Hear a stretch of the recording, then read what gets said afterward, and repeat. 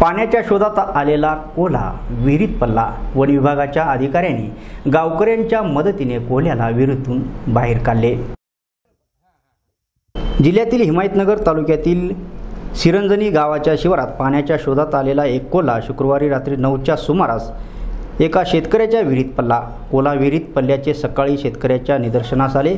नारायण करेवाड या शेतकऱ्यांनी वन विभागाला माहिती देऊन काही शेतकऱ्यांच्या मदतीने शर्थीचे प्रयत्न करून या कोल्ह्याला विहिरीच्या बाहेर काढून जीवदान देण्यात आले.